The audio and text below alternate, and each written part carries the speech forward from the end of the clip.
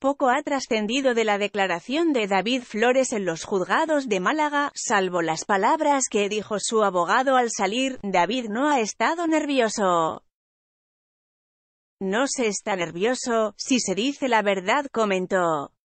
También supimos por información de Laura Fa que David Flores le explicó a la jueza que no había llamado a su madre, Rocío Carrasco, porque no tenía su número de teléfono. Ahora hemos conocido unas desgarradoras y muy sabias palabras que David Flores en sede judicial. Lo contó Isabel Rábago en Viva la Vida y todos los colaboradores se conmovieron al oírlas.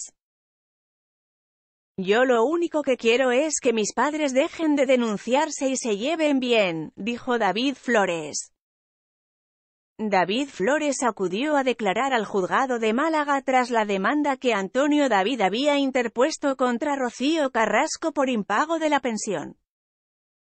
Al ser David mayor de edad, la jueza le concedió a David la posibilidad de que éste declarara en el juicio, ya que era el afectado por ese supuesto impago de 200 euros mensuales.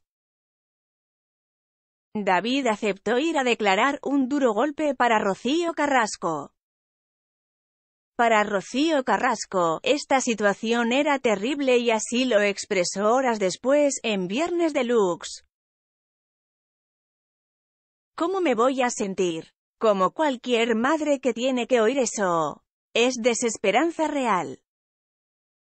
Tengo la boca seca de decir que esto no cesa y que tiene que terminar esto de alguna forma, dijo Rocío.